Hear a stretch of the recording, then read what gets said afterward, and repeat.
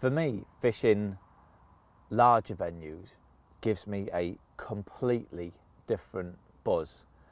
And I think it probably all stems back to my childhood days and how I first got into fishing. And that was the air of mystery, not knowing what's beneath the surface. And that is very much the case on a big expanse of water.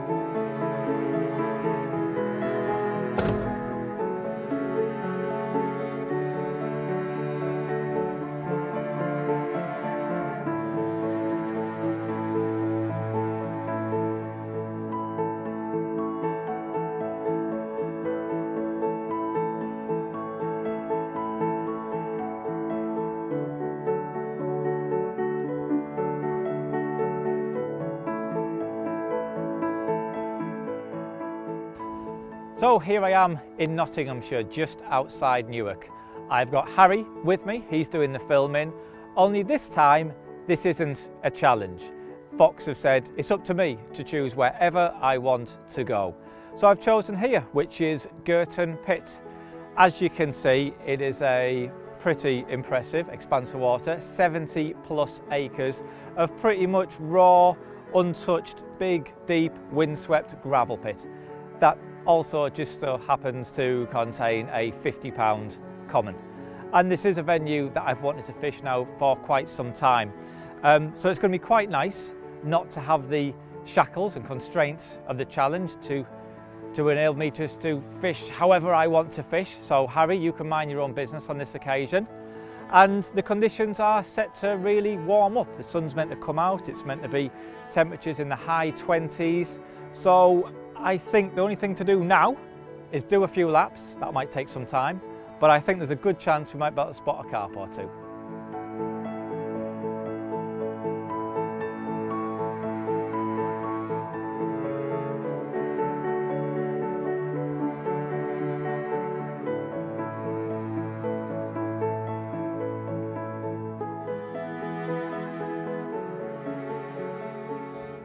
I think we all have our own idea about what actually constitutes being a big venue. And I guess it's all relative to the, to the size of venues that you have been fishing previously. I remember the first time I walked onto a, um, a, a lake in Yorkshire that was about 30 acres, having only previously fished farm ponds before that. And that to me then just seems like an ocean and I didn't know where to start. I was completely intimidated by it and I felt so out of my depth. And um, it actually put me off a bit, to, to be honest. It was probably about 10 years before I, before I went back there. Uh, now, walking onto a, a big lake for the first time, I would actually treat them very much like I would any other venue. And obviously you need to find you need to find the carp on a big lake like this, which has a perimeter of 1.6 miles. It just means a lot more, more legwork than if it was a smaller venue. Um, but at the end of the day, you have to find, you have to find the fish. And, that, and that's, that's applicable on, on any venue, no matter how big it is. Locating them isn't always easy. Um, and the fish don't always necessarily show. But for me personally, I, I can't, I can't even contemplate getting the rods out of the van until I'm 100% sure I'm in the right location. So on a typical session on a, on a large water, it may not be uncommon for me to have the rods out of the water, just walking around the lake for longer periods than I'm actually angling. Um, I'm quite happy to spend the day doing laps with a, a good pair of Polaroids, climbing trees, looking in all sorts of nooks and crannies, just trying to find the fish.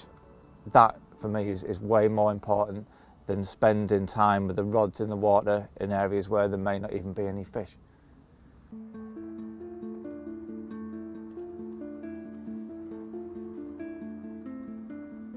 When I do eventually find a group of fish after what may be hours and hours walking around searching, kind of get that sort of feeling of excitement again, it goes back to like my, my days as a, as a kid when I was first started fishing. I get that feeling of excitement whilst also doing my best to try and control it when really I just want to go, ah! go back to the rod, go back to the pad and get my rods. it's just, it's just controlled excitement nowadays.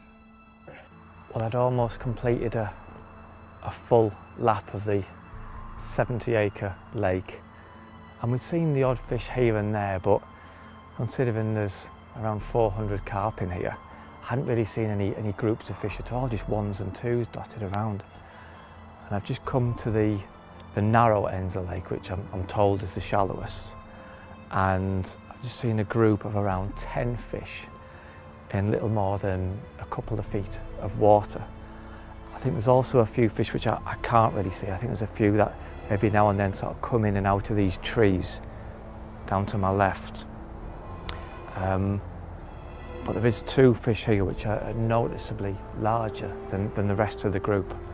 Uh, both really nice, nice commons. Um, and because they're in such shallow water, I think it's an absolutely brilliant stalking opportunity.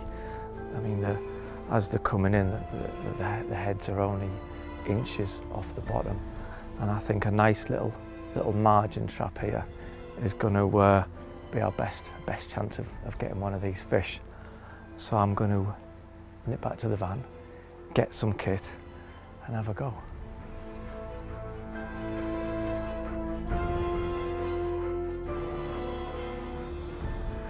Well, I've just dashed back to the van and got everything set up back there away from the water's edge. Um, there is fish still here at the moment I'm not able to get a rig and I don't want to risk spooking them, disturbing them and ruining my chances. Um, but the fish do seem to be drifting in and out.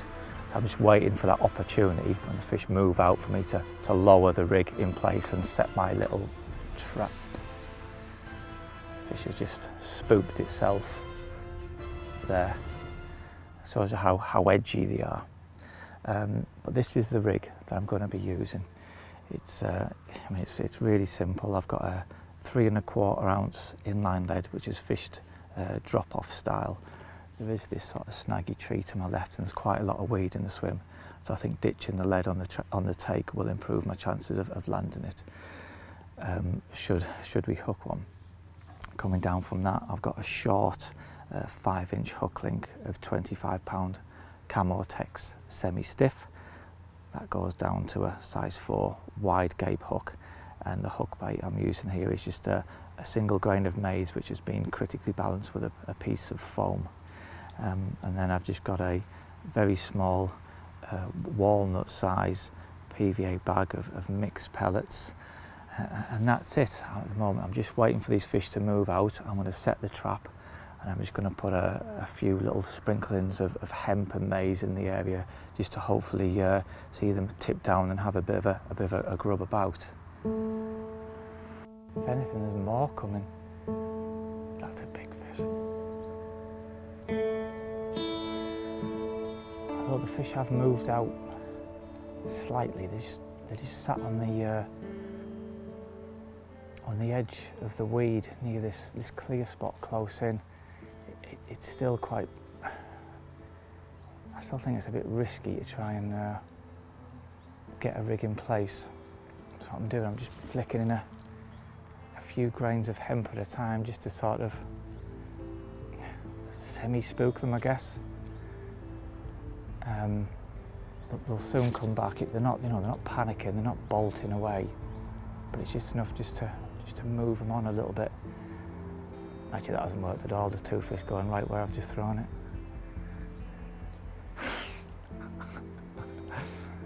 oh, one of them's a big one as well. Actually, he's just gone. I tell you what. I think I think now's my chance. Yeah, the ball just the ball just moved out a tiny bit. Right, now's my chance. I've just gone the other side of this weed bed.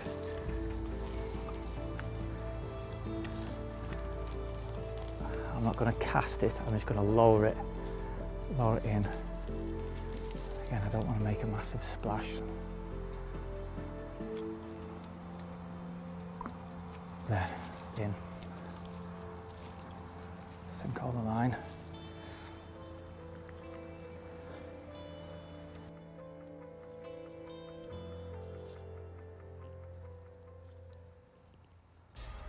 Stalking is without doubt one of my favourite methods. Being able to watch the carp at close quarters and observe their behaviour and their actions, watching them move around and seeing which areas they they prefer to be in and, and looking at spots where you feel they are perhaps more likely to, to tip down and, and take a bait. Obviously you can see you can see the fish and you, you sort of see a group of fish, you think, oh, I want that one. And, and, and, then, and when you do actually, if it does actually all work out and pay off and you do actually get the fish that you've actually selected, it's, it's absolutely inc incredible. It's such a buzz.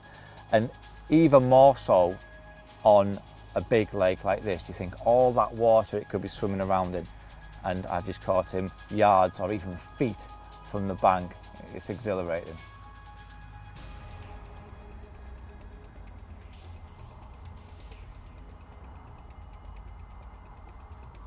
Mark!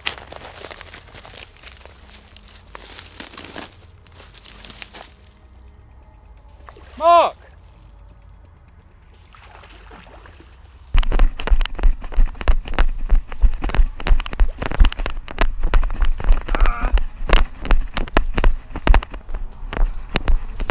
Can't get in.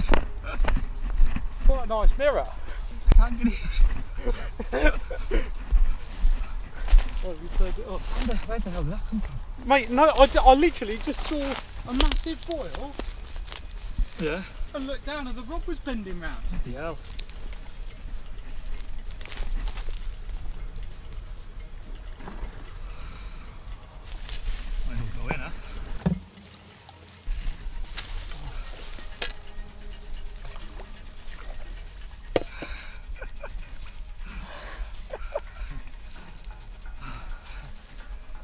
Well, I think both me and Harry had kind of given up hope for this spot. After that fish came in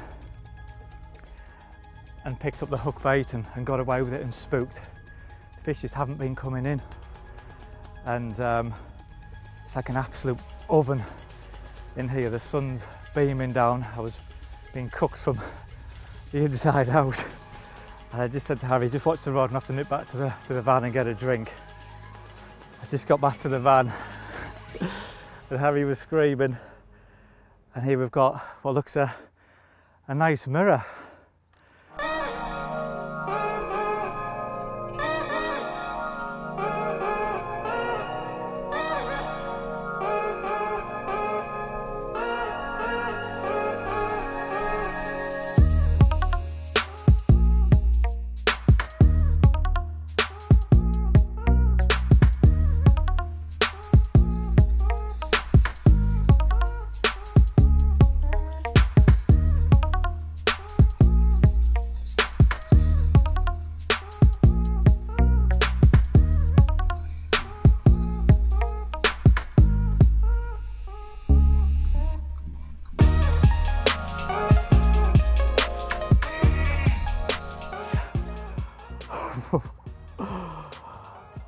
that was totally out of the blue.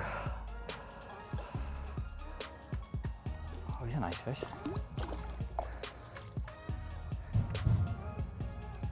Yes, Harry. Well done. Well, look, this is where we're fishing. I can see, I can see my bait. I put out about five bits of maize. I can see one, two, three, four, five. There we go. I can see all five bits of maize so it's literally just taken that um, that little tiny walnut-sized PVA bag, taking it in one go, one mouthful, and there we go. Yes. Catching any carp for me a large, low stocked water gives me a completely different sense of accomplishment. To me, the fish seem, they seem different. They seem more wild and generally they're a lot more hard earned. You've put in the leg hours, you've put in all the hard work and just seeing one on the bank after all that effort, knowing it's paid off, it, it, it is such a thrill. Well, I think it's fair to say that this session couldn't have got off to a much better start really. We've just checked back through the through the footage and the rod had actually been in the water for 17 minutes.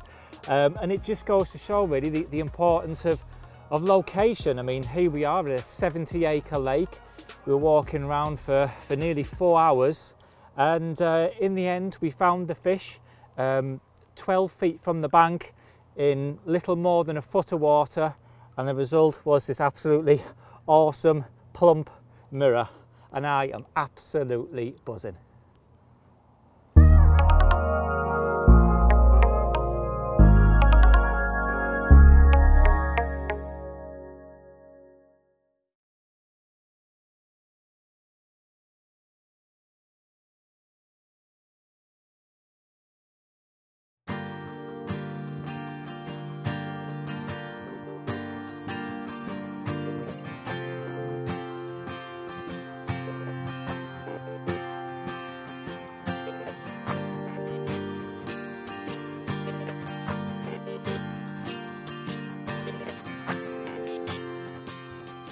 There really is no room for complacency.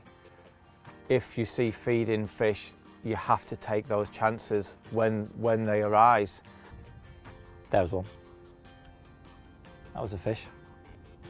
And if the fish are close to you, but not quite, not quite there, then you have to move. 15 yard out. If I was a carp, I'd be here. This is where I'd be. All that work and commotion going on today, all the vibrations, all this fresh earth getting getting dumped in. Yeah, this is where I'd be. Because I'm nosy like that. I to know what's been going on. This is where we're going. And I'll look ultra carpy, booted up on all this backfill. you may not get another chance to, to locate them fish for, for hours or, or even days. So when you do see them, you, you take those chances when they are there.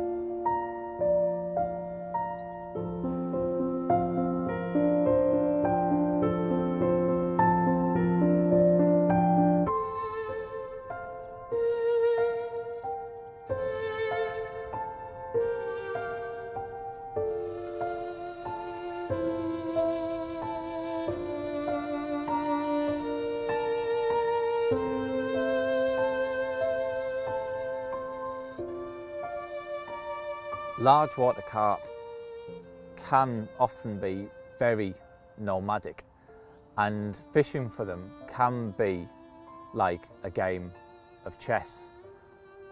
Although having never played chess, I'm to liken it to Connect 4, where you always want to stay one step ahead. But quite often, you're actually one step behind. It's about half past six now. Been awake for about an hour and a half, just it was getting light this morning. Um, and nothing's happened since the last time you saw me. But shortly after first light, the fish did put on a little bit of a show to the right of the swim. Not too far from where my, my right hand rod is, but also another one. But also not quite close enough for my liking. They're probably 10, 15 yards away from where I'm fishing. Um, every now and then one does show a little bit closer, but I don't feel like I'm quite, quite there. So I'm in a bit of a quandary. I don't know whether to risk just a, a short move just round the corner here and make a few underarm casts to where they are. Um, but it is quite weedy, so it may take me a few attempts to find a, a clear area to present bait. And obviously in, in doing so, then I, I risk spooking the fish and ruining any chances I might have. Um, So I don't know, I'm in a little bit of a dilemma. I don't really know whether to just stop being so impatient and wait to see if the fish do move a bit closer or whether a move is on the cards.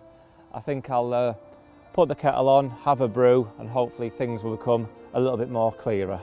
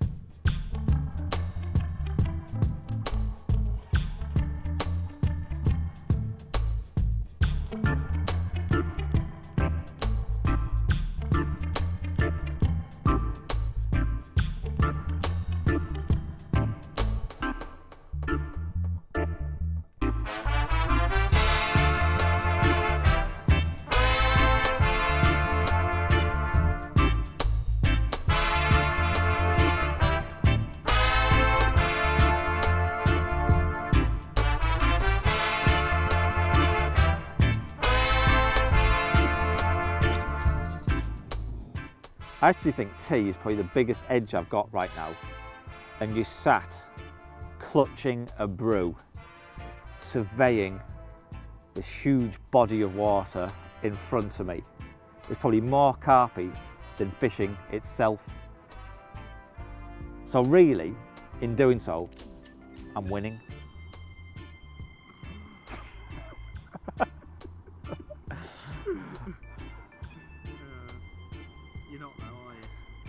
A winner in my eyes. you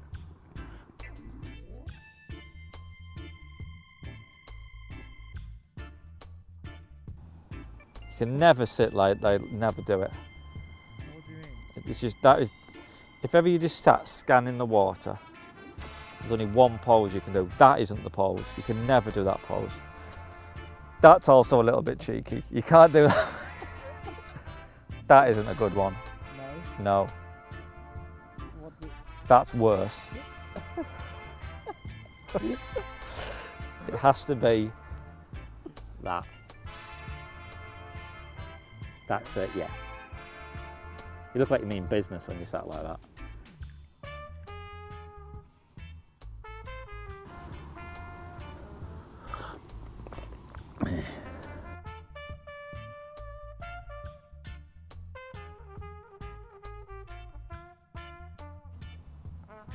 Are times when you won't be able to find carp, and in those situations, it does come down to watercraft, a little bit of gut instinct, and also the weather conditions that will determine where you actually end up plotting up. And I do have quite a few weather apps on my phone that I do keep a close eye on. A new fresh wind is a good a bet as any in these situations as to where the carp will actually actually be located and being in an area that is about to receive a new wind is a huge advantage. It's one way of staying that one step ahead of the carp. Well, I'm sat here now at the end of the lake where we actually caught that fish from, which seems like a long time ago now. And it looks pretty devoid of life, to be honest, and it has done all day. But conditions are, are completely changing um, in the next sort of 12 hours. The wind's meant to change and, and push up here. Uh, we're getting a drop of, of, air pressure and that's bringing with it uh, uh, wet weather as well, lower temperatures, um, all of which are a bit more conducive for, for a bit of a, a bit of feeding fish really. And although this looks really bad at the moment, if I was fishing without the pressure of the cameras, knowing I didn't have to catch anything, then this is where I would be. Um, having seen that the change uh, in, in the conditions, I would like to be here, have all my traps set before the carp arrive. That way they can move into the swim and there's no disturbance. Um, I won't be putting them on edge and, and they should hopefully come in and, and feed with confidence. Um, it is a gamble. There's no doubt about it. It is a gamble. Sometimes gambles pay off. Um, so yeah, I think it's worth it.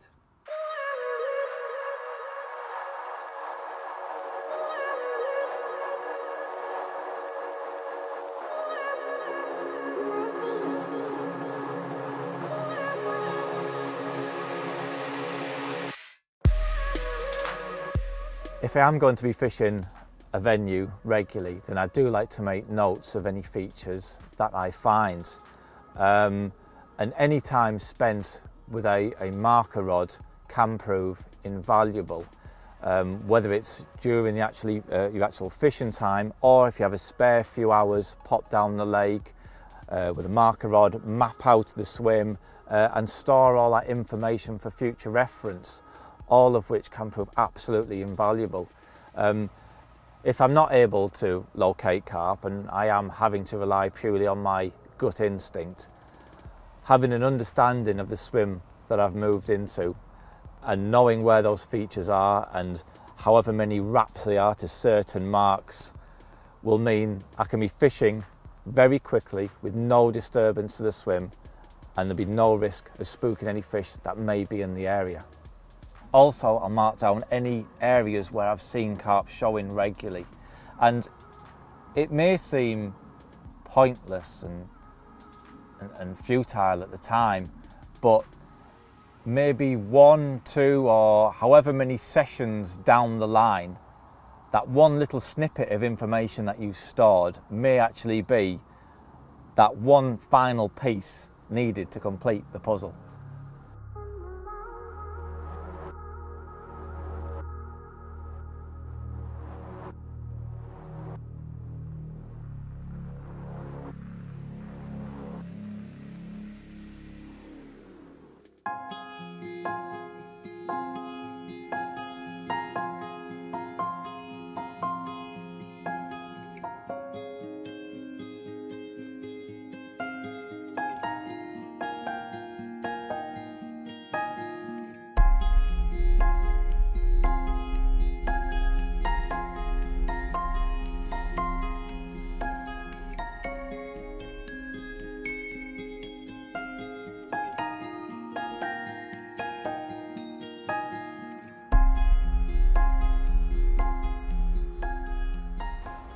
Almost a straight southerly now.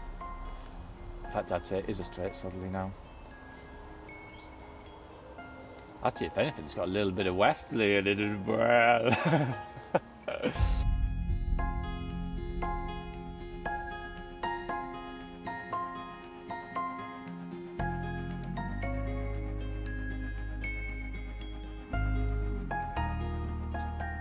I just imagine just to like um, you know, like when you go to a trout farm and you put like pellets in, you just see like ball waves just moving down the lake. That's what I imagine it'd be like. Like a, I don't know, like a, like a school of migrating dolphins. all moving down the lake.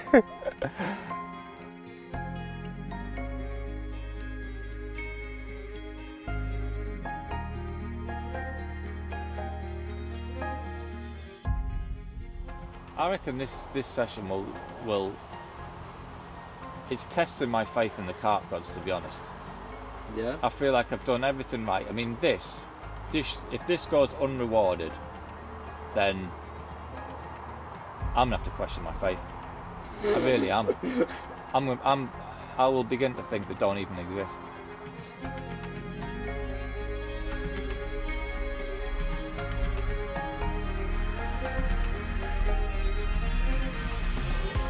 It can be hard going and there are undoubtedly going to be blanks which can feel cruel and demoralising but these are harsh environments and sometimes it can be a battle against the elements just as much as it is against the carp.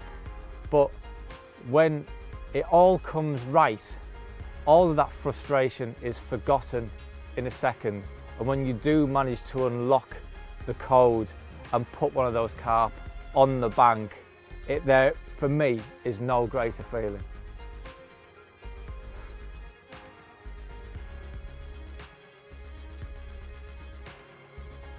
Well, the wind has really picked up now. It's absolutely smashing into this corner where I'm fishing. It looks absolutely prime. If I could make carp fishing conditions, this would be it. But as good as it looks, nothing's happened. And as much as I would dearly love to stay, I've got to pack up and go home. Um, considering this has been my first session here at Girton, I'm going away happy. We had that fish very early on in the session, 17 minutes after casting out, and the next three days uh, have been kind of uneventful really. But it really does just go to, to highlight what I was talking about earlier about taking those chances when they are there. If I'd been a little bit slower in getting that rod set up and in place or, or hadn't seen them fish, then who knows, I could be going home with a blank, but I'm not. I've caught a fish, but probably more importantly, I've learned absolutely loads. And as much as it would have been nice to catch maybe one more, I'm still going home with a, with a wealth of knowledge for my next session here and I absolutely can't wait to get back.